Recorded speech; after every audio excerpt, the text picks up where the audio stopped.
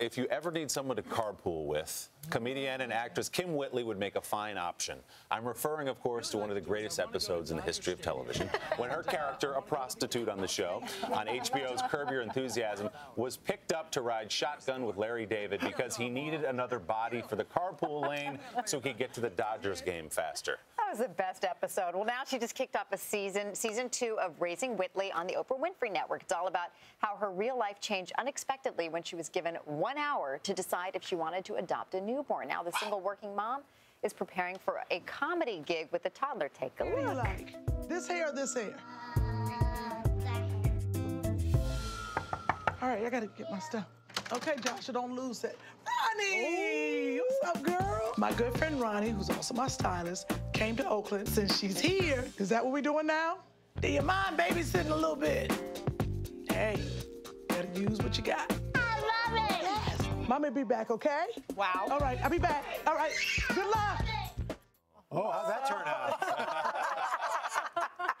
Kym Whitley, good morning. Good morning. Joshua God. is so cute. He is adorable. I love the story how he came into your life. Tell me how that came about. You said you had an hour to An decide. hour, honey, it was like a pizza delivery. Let me tell you something.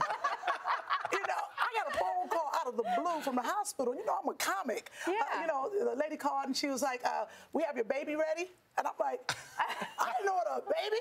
The fries come with that baby.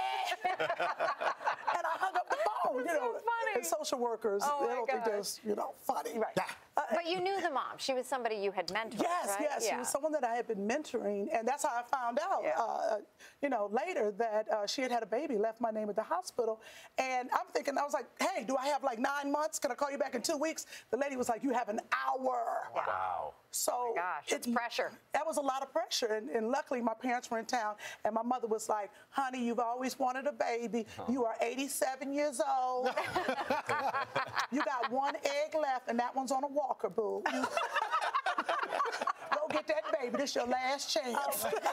so, so how has Joshua changed your life? I mean, what a cutie. Joshua has definitely changed my life. I mean, I used to be like uh, appletinis and mini skirts. Now I'm like minivans, applesauce. Just you know, used to be the party girl, and I would say it changed my life for the better. Everyone's Yeah. like, "Oh, you got this kid. He's he's blessed." No, he blessed me. Yeah. He, he really just kept me off the table. And he, you have a village, uh, including your stylist and other people who've come in to help you. I had a pleasure of meeting Joshua. He stole the show, went on stage with you at, at this event, Yeah, he and did. everyone's like, "Oh, he's fearless," and we saw willing to cry and throw a tantrum too. Tell us about your village that's really pitched in, in addition to your parents. Well, you got to think about it. You know, uh, a single working mom. You know, I'm working on Raising Whitley, and I have a show, Young and Hungry. Hey, Young and Hungry cast. Uh, they let me come today. Uh, so, as a single working mom, I was like, how do I make this happen? So I called up all my friends, and I was like, help. Not help for an hour, not help for a day. I need you to help me raise this baby for the rest of his life.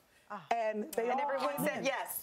Uh, well, there were some, uh, but those They're were, not friends you know, they were smoking and drinking, so I didn't really want them. I was like, I'm all right with you. Everything happens for a reason. Everything Yeah. happens for a reason. And his fourth Wow. birthday is this week, is it's that right? Friday. That's Yes. right. He'll be four years old. What's the What's theme? get? Big blowout? Uh, he's uh, he's too close to Christmas, Al. He, Ah. he gets a handshake and a cake. Somehow I don't think that's true. believe that for a I don't believe that for a minute. well, the village, I'm gonna get the village together, and at this time, because one Christmas he got five bikes. I was like, really? Can we all talk? Can we email?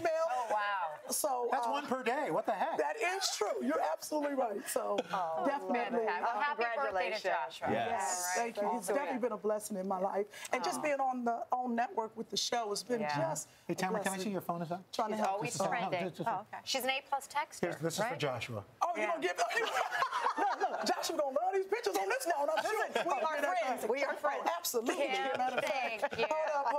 Text real She's, quick she's, right in the middle of the she show. does. What do you got? She's great at texting. Yeah, I have a- Raising Whitley airs Saturday nights on OWN. Please watch it. Yes. Watch. She's texting America right now. Referee, She's repping the game I'm texting. I'm telling you, Willie, if I'd have known you was this cute, I would have worn a better bra. I'm Oh, telling you. whoa. Hi now. Yeah, now I we're didn't know. talking. I used to, I used to like you, but you done lost too much weight. Oh. Oh. Well, hold on.